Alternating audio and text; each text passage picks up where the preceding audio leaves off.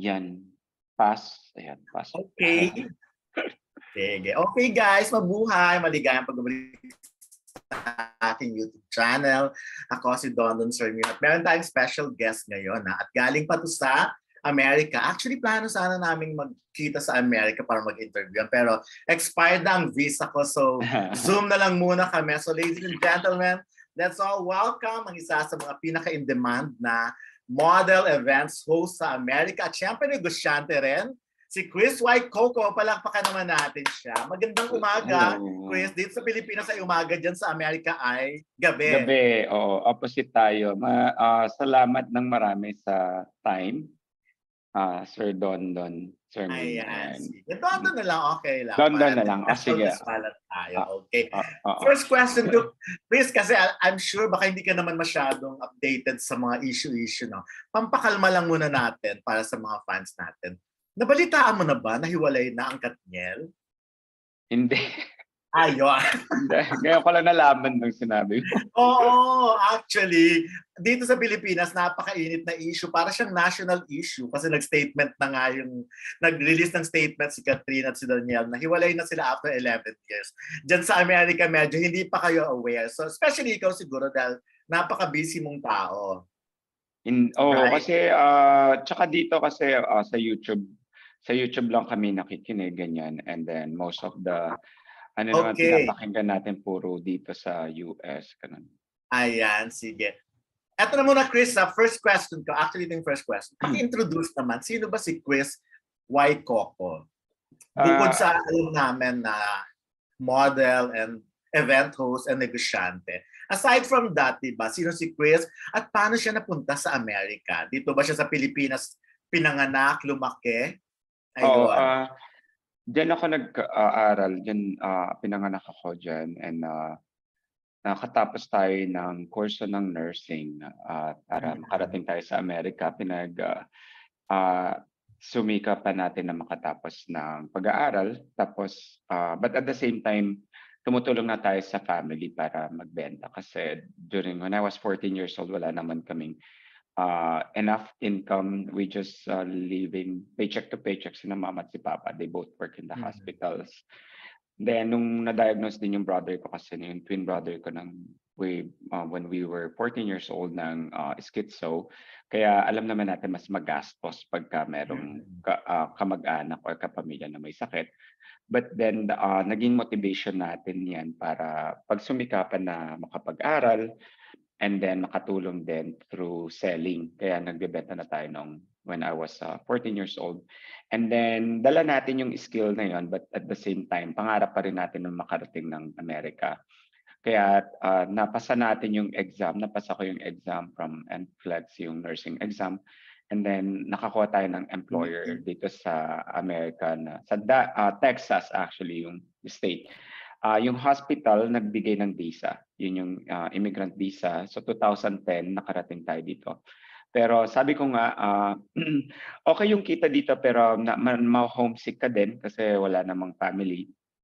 Kaya Mm. nagsumikap din tayo na mag ah, mag ah, tayo ng sarili natin na pagkakakitaan ka tulad ng pagbebenta ng mga ah, necklace ganyan and then noong 2010 dahil nag ah, nag house to house ako sa doktor sa bahay ng mga doktor ah, nakakilala ko ng accountant and then yung accountant na yun ang nag-mentor and ah, nagtiwala sa kakayahan natin na magtayo ng negosyo na pumasok tayo sa partnership uh, through offering accounting service and uh, wealth planning sa Amerika.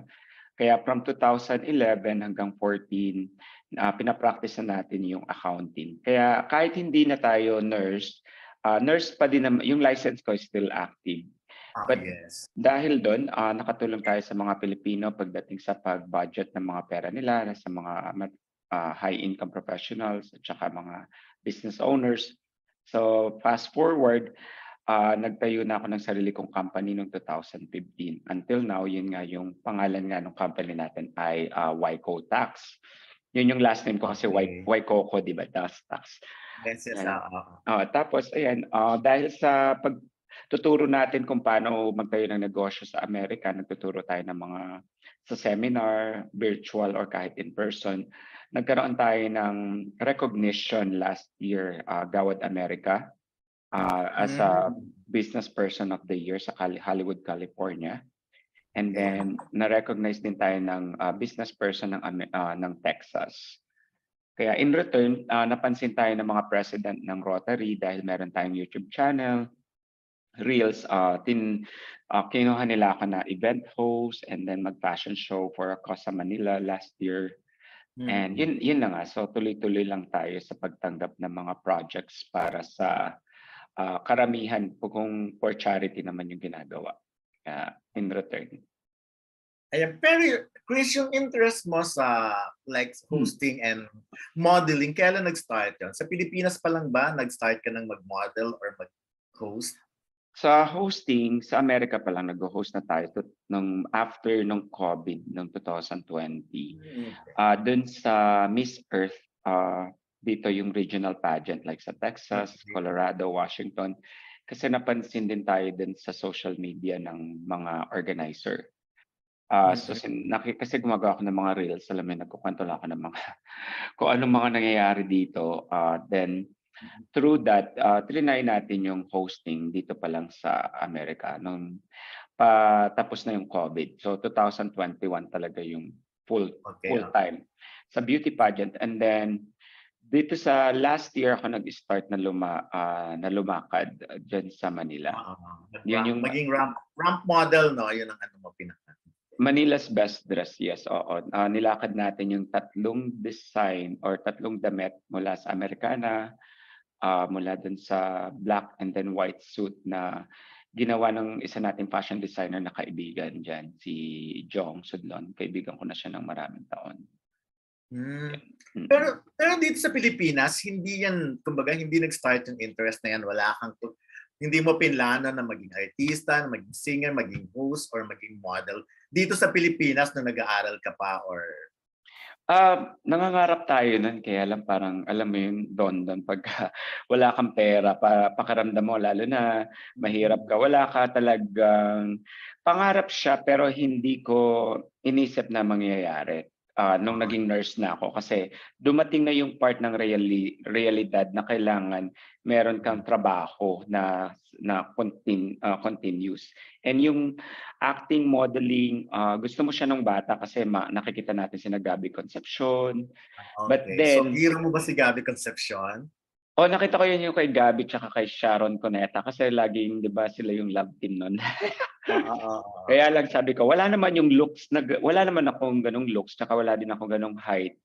Kaya pangarap na lang siya noon. Wow. Ang Oo. humble naman ng wala akong looks. Ay. Kaya, so, hindi ka nag-attempt na mag-audition, wala kang ganun um, pumila para gumawa ng commercial. hindi talaga yun ang naging priority mo, kundi ang mag-aral talaga. mag ah, pumila ako pero sa mga game show like Itbulaga para sumali ako as contestant sa Pinoy Hanyo. Sa game ka na ba ni Chris Aquino who wants to be a millionaire? Sumali ako as a contestant na baka manalo ng isang daan libo, di ba? But yun, at the same time, nagbebenta din tayo ha, sa mga contestants nila. Kaya ayun, kaya nakilala ko ng mga? Business-minded ka. Kasi kailangan meron tayong makuha doon kaya di natin makuha isang daan libo. Makabenta tayo ng pabango. May dala akong pabango doon para habang So, doon mismo nakapila. Sa show, sa show mismo, sa mga ka- kasama mong contestants, nagbebenta ka, ina Mm-mm. inaalok mo silang bumili. Nakabili Oo, naman ba sila? Si Ai de las Alas, bumili siya ng pabango. Dati merong Ai Charap eh, doon sa likod ng ABS-CBN. Ah, yes, oo, oo, oo. Ay, et, et, kesyo medyo naging close ko yung stud, studio coordinator doon. Pinakilala niya ako kina Ai Ai, kina John Lapus. Eh, may, da- may dala akong pabango. so, hindi naman ako nanalo ng 100,000. But nakabenta naman Nakabenta. ako. Oo. Sabi ko, pwede na rin. May consolation prize. Tsaka meron naman Mhm. silang pa-hotel at tsaka pakain. Although matagal lang yung pila, mga walong oras hang, hanggang 16 hours ka nakapila. Okay, okay lang din. It's about the experience. Pero, Chris, ano napi, napi-feel mo pag binabalikan mo lahat yan, yung experience mo na yan? Kasi ngayon, pwedeng i-consider na na successful ka na sa field mo, pero yung pinagdaanan mo, hindi rin pala ganun kasimple. Medyo, ano pa, yung journey mo, marami rin pinag, masas, ma- ano yan, Marami ding mahirap, Mm. di ba? So, anong nafe-feel mo every time naglo-look back ka? Kaya umuwi ako sa Pilipinas every year. Masarap din masarap na mahirap, ah, balikan kasi masarap siya dahil na na-overcome mo. Ah, mahirap kasi alam mo na marami pa ring mga Pilipino that they going through the same, ah, Okay. situation kasi hindi naman lahat, ah, nabibigyan ng tamang platform and, ah, marami rin mga Pilipino na may pangarap. Ah, yun nga lang hindi, ah, sapat yung kakayahan nila and ah, pagdating sa The mga kakilala opportunity nila yan. Oo, ma masaya siyang balikan pero it always make you feel humble. Kasi Mm. kung hindi siguro dun sa experience, hindi tayo mag, ah, susumikap na maging matagumpay sa sarili nating ah, larangan. And ah, of course, very thankful. Ah, yun naman ang hindi natin puwedeng mawala, yung magpapasalamat tayo everyday kung ano yung mga nakuha natin and ah, magiging, ah, hopeful and we keep the faith na umasa sa mga bagay na wala pa tayo. But at the end of the day, it's giving back yung pinakaimportante and make sure ang bawat isa merong something sila na pasasalamatan every day. Kasi nagmu-multiply ang blessings 'pag, po. sinasabi natin siya lagi. Okay, Chris, when you say giving back, ano yung pinaka parang ano yun? Paano yun? Um, Paano mo yung paano ka nagi-give back sa community? Dito ba sa Pilipinas or mm. diyan din ba sa mga Pinoy sa Amerika? Ah, ayan, ah, dalawa yung ginagawa natin. Sa Pilipinas, ah, last year kaya tayo rumampa diyan dahil yung proceeds nung, ah, show na yun na-donate yun sa charity, sa simbahan ng, um, organization. So that's number one. Yung, ah, actually tatlo 'to, eh. Yung dalaw yung number two naman dito sa Amerika, tumutulong tayo, nagvo-volunteer tayo sa Philippine Consulate ng Houston sa mga nagre-renew ng mga passport. So nandun tayo sa mga Pilipino na gusto maging dual citizen, gusto nilang mag-renew ng passport nila o kaya naman yung birth certificate nila, ah, tumutulong tayo sa consulate, ah, for free. Then nagtuturo din tayo ng financial planning na, ah, tinatawag kasi alam mo na, um, don don 'pag dito malaki ang kita, malaki ang gastos, dapat ang mga OFW sanay sila na mag mag-budget. Dapat, ah, meron sila laging savings, meron silang investment, tapos Mm. yung natitira yun dapat yung pantulong sa pamilya. Yun yung pangalawa natin, ah, gumagawa tayo ng mga ganong, ah, workshops. Yung meron tayong upcoming project, ah, ito naman yung mental health symposium. Okay. Ah, dito naman ito ay mangyayari sa August 24 this coming year. Ang Mental Health Symposium is bringing awareness. This is a whole day event na mag ah, it's gonna be global kasi yung nonprofit 'to na magko-conduct tayo ng workshop, meron tayong 25 na business nonprofit organizations na magpa-participate dito and, ah, yun yung project ko personally kasi nga, um, gusto kong i-donate yung part ng proceeds mapupunta sa National Mental Health Philippines. Ah, okay. Yes, oo. Kasi, ah, marami pa ring mga dahil yung brother ko, yung kakambal ko, 8 years na siya sa, ah, Mandaluyong and marami pa ring mga infrastructure na puwedeng itayo katulad ng basketball court 8 years na siyang na sa private na sa me mental rehab dahil, ah, siya okay. oo, kaya ako nagsusumikap na mag, ah, ah, trabaho dito para masustentuhan natin yung, ah, rehabilitation at medication nung, ah, kakambal ko. But then nung nakikita ko yung loob ng National Center for Mental Health, kaya uuwi ako this holiday kasi I only visit him once a year para madalaw, um, safe and sound naman siya dun.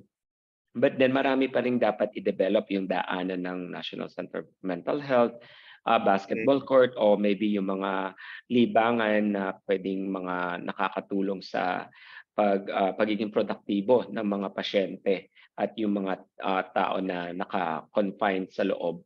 Yun yung mga gusto nating masustentuhan through this mental health symposium dito sa Dallas, Texas. So parang ano, advocacy mo na rin yan talaga yung tungkol sa mental health kasi may personal ano ka, ah, Oh. Mm, alam mo Dondon, ka alam ko bawat isa sa atin, kagaya niyan nag-i-interview ka, hindi hin you want to pre you want to carry the show, but at the same time, there are times that we are not okay. And Okay, alam mo, there it's okay not to be okay. But ang gusto nating ipaalam sa iba na you are not alone. Hindi mo dapat to i-carry mag-isa kasi katulad natin para tayong ship eh, yung bar- barko. We don't sink if we don't let the pressure in. So ang advocacy natin is para maging norm. Kasi sa atin, di ba, hindi natin pinag-uusapan either sa family, sasabihin nila na mahina kang tao, pag sabi mo nag-undergo ka ng depression, anxiety, o marami kang excuses. Pero totoo naman nangyayari yung ganyan eh. Pero ang pinaka-importante dito sa ganitong um, de- de- delicate na conversation, dapat uh, i-acknowledge and wag natin i-dismiss pag nagsasuffer yung isa ng depression or meron siyang early signs ng anxiety, kailangan ang pamilya, kaibigan, kahit na yung iba pang mga grupo, alam nila kung paano kausapin yung mga tao na nag, ah, nag-go through doon. At also, tayo na nakaka-experience nun is also ma, meron ding um, healthy na paraan kung paano tayo makikipag-usap. Hindi kasi lahat ng tao pwede nating kausapin pagdating sa mental health. Yes, kasi iba yung iba nga ang tingin diyan parang nag-iinarte lang, Yes. umaarte lang. Yung Ganun usually ang ano nila, ang dating niyan eh. Pero Mm-mm. of course maganda naman yung may mga tao talaga na nag-focus din. May advocacy tungkol sa me- sa mental health lalo ngayon, 'di ba? Lalo na nung pandemic, marami talaga lumabas talaga yung mga ganyang klase ring sakit. But anyway, aside from that, yung mga advocacy, business, um, Mm-mm. ano pa yung mga gusto mong gawin dyan? Like, uh, showbiz related. Showbiz. ah well, mag-host tayo sa concert ni Jaya dito Okay. sa Beverly Hills, California. This is the early holiday uh, concert this December 10 uh, sa Marriott Hotel sa ano siya sa rooftop this uh, sa Admiral uh, Hotel this December 10. Uh, so ma meron 200 tayo na attendees doon. Ako yung isa sa mga host red carpet to. And kung Mm. nasa Beverly Hills sila, California, uh, meron pang tickets. So red carpet siya and then meron uh, dinner and uh, mga iba't ibang tao yung pupunta from different uh, cities. Yun, yun yung una. Then uh, pupunta tayo sa Pilipinas, may mga interview din tayo sa Net25. Mm. Uh, that is gonna be December, I think 14. Yan. Uh, uh, magkakaroon tayo ng one-hour interview uh, regarding sa isang Filipino-American na buhay. Kaya yun. So, yun yung mga projects natin. Oo. And then, ayan, Pero- yung regular sa TikTok, ah, Reels, Ah, ah, ah. Pero ano, active ka ba? Isa ka ba sa mga active na Pinoy sa Amerika? Let's say pag may mga ah, celebrity na dumarating dyan, ganun ka ba? Is ka, part ka ba ng mga nagwo-welcome sa kanila? Or part ka ba ng mga nagpo-produce ng shows, nag-entertain sa kanila? Ah, part ako dun sa sponsor. Ah, I ah, ah, nung dumating si Chris Lawrence tsaka si Nina, ah, dumating sila dito. ah, kasama ko sila sa Texas sa tatlong cities. Nag ah, sumasama tayo sa pagdating sa concert pa- para sa mga sponsorships, ganyan. Pag kailangan nila ng host, saka lang ako mag-host. Ah, sa mga ano naman, yung normally pagka mga concerts, ano yan eh, nag-marathon yan eh, mula Texas, California, Ayan, so ang- Oo, doon tayo nakasama sa mga ganun. Ah, meron pa mga ibang artista din na nagpunta dito. Yan, Sina Lani Misalucha, sina JR, Aiza Sigara. Ma- karamihan na sponsor tayo. Tsaka pa picture. Wala ka namang puro good experience ba meron ka sa kanila? Or meron ding mga... Ba- Kasi nababasa ko minsan sa Facebook kapag may mga celebrity na nagpupunta sa Amerika, may mga Pinoy na may mga complaints like parang pahirapan picture lang, nahihirapan na or whatever, ni fans day lang o meet and greet lang, pinapahirapan sila. Pero ikaw personally, wala ka namang bad experience. Wala naman. ah, okay naman sila. Kasi busog na siguro. Pag nagpa-picture ka dapat tapos na yung concert para nakakain. na. Pero so far okay naman ako sa mga artista na nagpunta dito. Mm. Pero sinong mga peg mo? Sinong mga idol mong artista bukod sa Sharon and Gab? Sino yung mga celebrity na gustong gusto mong si makita? ano, si Vice Ganda. Ah, okay. Si Vice Nakita Ganda mo kasi. person? Hindi pa, pero kung bibigyan ng pagkakataon, ayan, si Vice Ganda, si, ah, si Paula Ballesteros, nakita ko na yan. Okay. Ah, kasi ah, sila yung epitome kasi, tsaka ah, si Vice Ganda ang isa sa mga ah, nagtaguyod, lalo na sa mga. LGBTQ na na hindi hadlang yung kasarian mo para maging matagumpay ka sa buhay. And also yung humility din kasi ni Vice Ganda. Mhm. She, he, she's still uh, humble na humble pa din siya. Tsaka very relatable siya Kahit na makipag-usap. So, yun yung dalawa. And then Paula Ballesteros is uh, another na gusto ko makita. Gusto ko rin sana makita si Tony Gonzaga. ah, okay. ah. yeah, yan yung mga na, na, nakakatuwa lang silang panoorin. And kung pagbibigyan ng pagkakataon sila sana. Ah, bakit si Paul? Oh, si si Vice kasi given eh talagang although hindi mo pa siya nakita dito Hindi sa pa. Pilipinas or mm, kasi nag-show din naman siya dyan sa Amerika. Si Paolo never pa rin. Ay hindi Ah. nag-Itbulaga ka eh. Nag-Itbulaga ako, nakita ko na si Paulo. Ah, pero kasi yung si Paulo kasi kasi yung province ko, Ecija kasi ako eh. Mm, And- okay. Yun, kaya ah, maganda ma- ang nag-evolve kasi ang talent ni Paulo Ballesteros. Mhm. From al- alam naman natin nag ano yan eh, nag-pageant yan si Paulo. Tapos ah, nakatapos din yan. And then Mhm. nag-start siya ng hosting, then nag-start siya ng drag. So very versatile yung ano niya, yung art niya. Kumbaga, hindi siya napaglulumaan ng panahon. Lagi siyang Oo. relevant. Kaya yun, yung gusto ko rin yung ah, yung trail niya and then yung kung ano yung career niya right now. Ayan, oo. Actually, very close ako sa mga taga Itbulaga because um, nag, nagtrabaho rin ako sa kanila sa Itbulaga noon. Yung Amini na I'm the ano, head writer nila Ay. Sino ba yung amin? Hindi ba si Si ano? Ray Pumaloy. Si Ray. Pumaloy. Huy, si Ray Oo. Pumaloy. Nakita ko yan last year. Saan? sa party, dyan sa rave, dyan sa BGC. Kasi pag nandyan ako, nandyan ako madalas sa BGC. Sina Ray Pumaloy, ah sina John Lapus, ah lalo na sa Nectar, ano, um, na, na, we bump to each other. Kasi Ayan, oo. doon tambayan ng mga y- Yes. Oh, and a- actually at that time nag-show pa ang Itbulaga dyan sa America or sa iba't ibang party. Nakakasama ako sa kanila kasi naging part nga ako ng ano ng kumbaga ng Amazing. family na rin nila. But anyway, ayun nga si Ray Pumaloy din kasi yun nga sinasabi ko sana kay Jenny kung gusto mo pang mag guest sa isang online show, si Ray Pumaloy kasi merong online show yung Abante Liling, yan yung online show ng Abante. Kaya lang yung Mm. oras nyo kasi medyo hiwalay dahil yung show niya parang alas dos ng 2 or 3 p.m. eh. Maganda rin sanang ma-interview ka ni Ray. Okay Tungkol lang. Oo. Kasi- Mag-adjust na lang tayo. Ito-connect kita sa kanya para mas okay. At saka mag-connect tayo sa Facebook and Mm-mm-mm. kung may Facebook. Oo, kasi ah nag-a-adjust naman ako basta or ah, sa basta virtual, madali lang mag-adjust. Gumigising talaga Ah. ako ng umaga, ganyan, or madaling araw, or gabi Ah, dito, yan. katulad Sige, ngayon. sige. Oo, kaya walang problema yan.